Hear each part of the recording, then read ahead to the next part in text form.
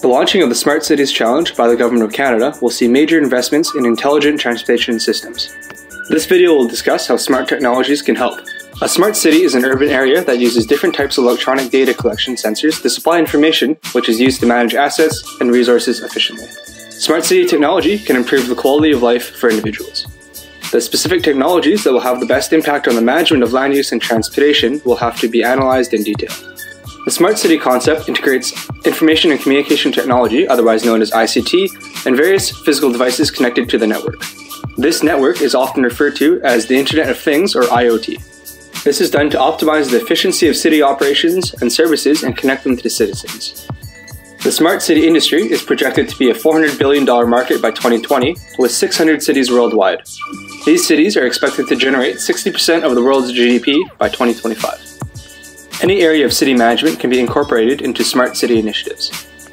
For example, a smart parking meter that uses an app to help drivers find available parking spaces without prolonged circling of crowded city blocks is an example. A smart parking meter can enable digital payment so there's no risk of coming up short on coins for the meter. Smart traffic management is used to monitor and analyze traffic flows to optimize streetlights and prevent roadways from becoming too congested based on time of day or rush hour schedules. Smart public transit is another facet of smart cities used to ensure public transportation meets user demand. Smart transit companies are able to coordinate services and fulfill rider needs in real time, improving efficiency and rider satisfaction. Ride sharing and bike sharing are also common services in a smart city. Smart city opponents worry that city managers will not keep data privacy and security on the top of their mind and fear that exposure of the data that citizens produce on a daily basis could be at risk of hacking or misuse. Also, the presence of sensors and cameras may be perceived as an invasion of privacy or government surveillance. The Government of Canada should adopt an integrated smart technology approach to improve the accessibility, efficiency, and sustainability of transportation across Canadian cities.